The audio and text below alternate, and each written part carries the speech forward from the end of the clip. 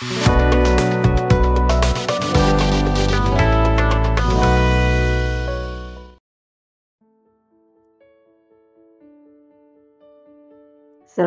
pagi, salam sejahtera bagi kita semua.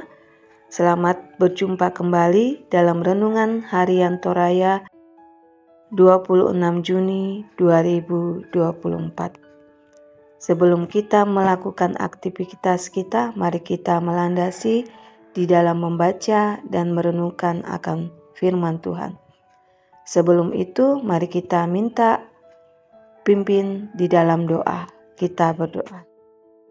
Ya Tuhan, Allah Bapa kami dalam surga, terima kasih atas napas kehidupan dan juga kesehatan yang masih kau berikan sampai saat ini. Sebentar lagi kami akan membaca dan merenungkan akan firman-Mu sebagai landasan kami di dalam aktivitas kami. Pimpin dan sertai kami sehingga kami dapat mengerti akan firman yang kami baca pada pagi hari ini. Inilah doa kami ya Tuhan, dalam nama Yesus Kristus kami sudah berdoa. Amin.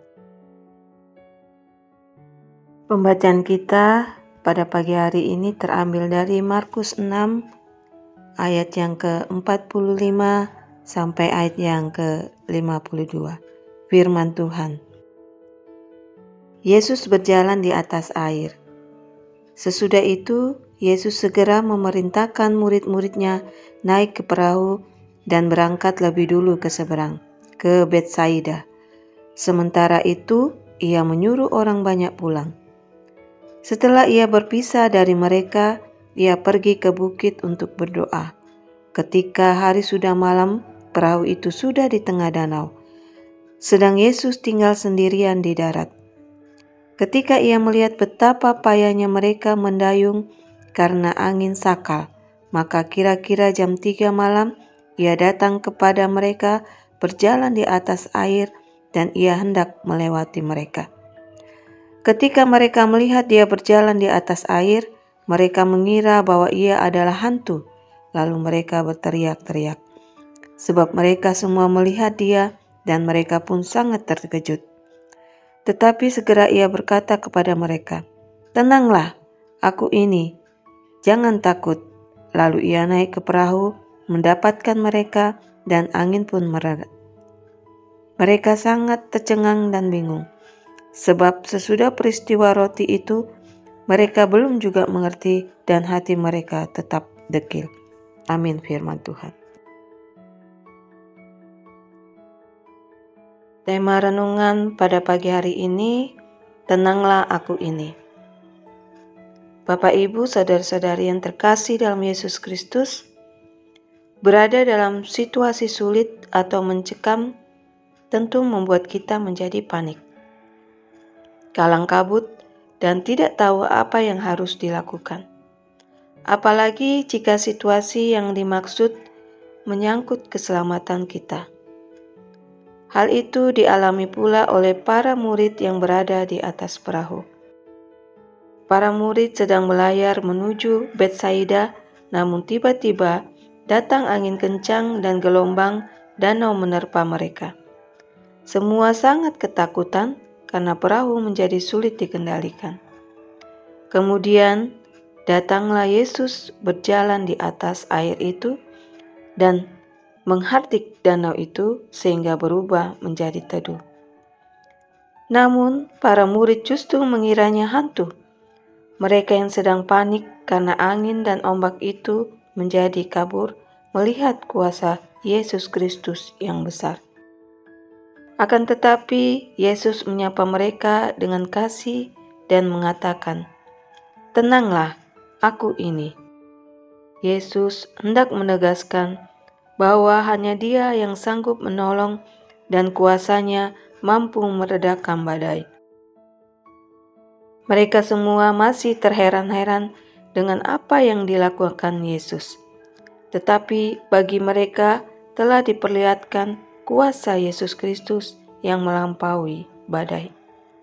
Bapak, Ibu, saudara-saudari yang terkasih dalam Yesus Kristus, kita juga mungkin pernah mengalami situasi mencekam atau menakutkan seperti yang dialami para murid.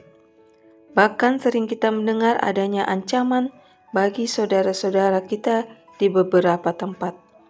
Tetapi kita percaya bahwa Yesus hadir menolong kita dengan kuasanya.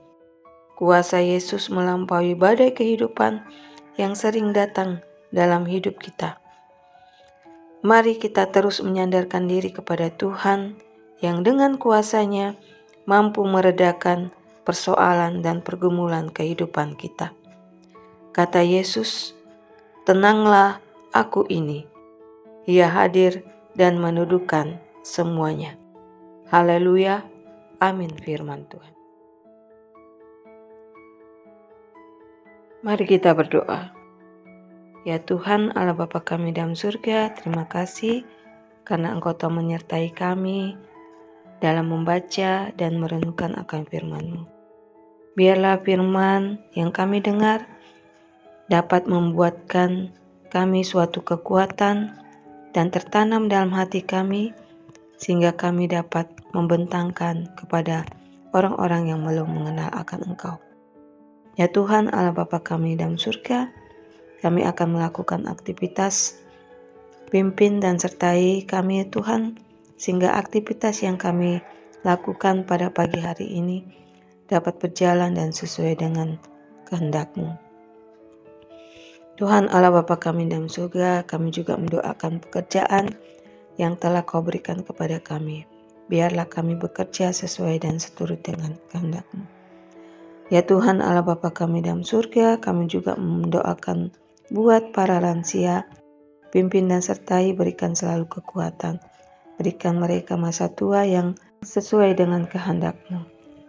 Tuhan Allah Bapa kami dalam surga, kami juga mendoakan buat pemerintah kami, dari pusat hingga pelosok. Biarlah pemimpin yang memimpin dapat memberikan suatu memimpin yang baik dan sesuai juga kehendakmu.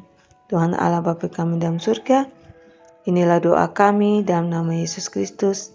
Kami sudah berdoa. Amin. Bapak, Ibu, saudara-saudari yang terkasih dalam Yesus Kristus, demikianlah pembacaan renungan kita pada pagi hari ini. Selamat pagi, selamat beraktivitas. Shalom.